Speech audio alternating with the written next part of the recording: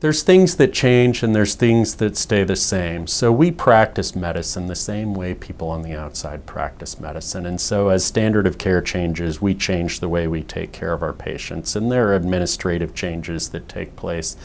And there are intricacies of the way we implement certain programs. But by and large, we take care of patients the way every, every doctor takes care of patients. And so you know, there are administrative changes. We might change from this electronic health record to that electronic health record, or we might change, you know, a program that we're using to administer profiles or whatever. But in the end, the medical care is still the medical care. Medevac is a huge topic, and so there's there's medevac, which is primarily done by the Army. So we don't do the going to the battlefield and picking up the patient and carrying them to the first hospital. That's actually the Army that's responsible for the te technically medevac, which is what you see on like Black Hawk Down or We Were Soldiers, where they're flying in on the helicopter and picking up the patient from the battle lines and taking them back. Where we in the Air Force get involved is, is transporting them from one medical facility to another medical facility. Um, so we'll be the docs in Bagram, Afghanistan, or in Balad Air Base in Iraq, where we're, you know, running the ICU and running the trauma center, and you know, it, a lot of times it'll be a joint venture between the Army and the Air Force, kind of managing or running those hospitals and running the codes and the, you know, the huge, you know, influx of patients all at once.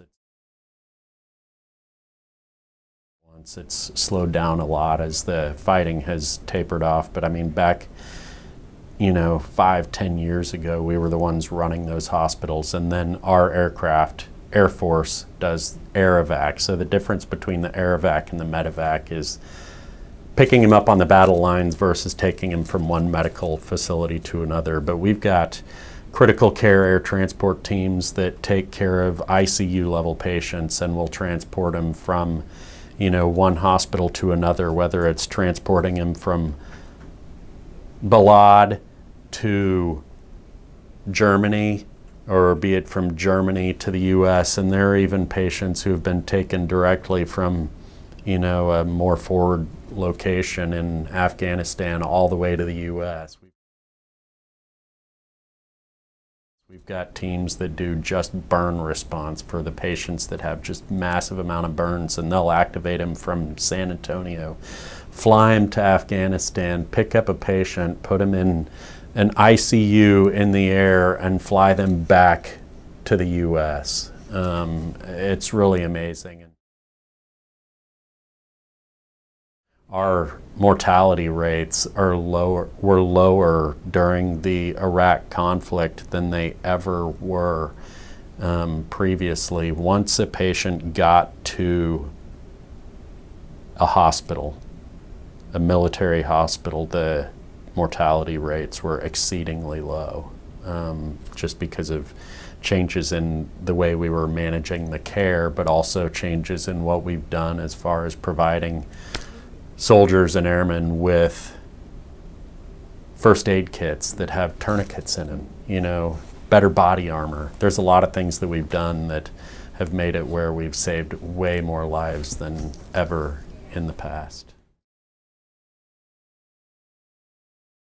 I think it's partially training and partially research. I mean, our you know, Army and Air Force docs, especially in San Antonio and the trauma centers in San Antonio, did a massive amount of research trying to figure out the best way to take care of these trauma patients. Um, you know, figuring out what was causing these people to die when they would show up in the trauma center and figuring out ways to try and prevent them from being as bad when they showed up at the trauma center. And then obviously figuring out what we needed to do to make it where we could have an ICU in the sky, you know, and that was a huge accomplishment because, you know, if you're in an ICU downtown, you don't transport to another hospital and we might pull you out of the hospital for an 18 hour flight, you know, if that's what it takes to get you from Afghanistan to the States.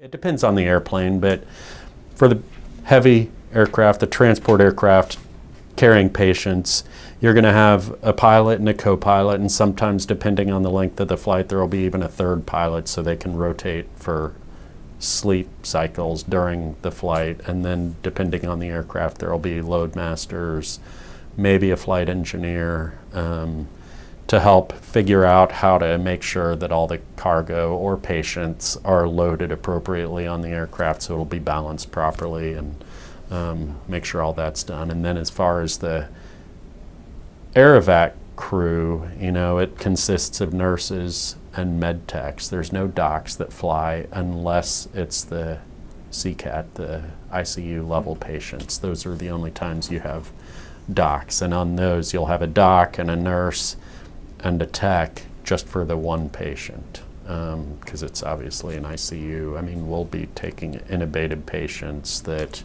you know, or on, you know, pressors even on the aircraft. So, you know, you, will have a doc flying with the patient um, individually. And then the amount of people that you're, the amount of airvac crew you're taking is really going to depend on how many patients you're transporting.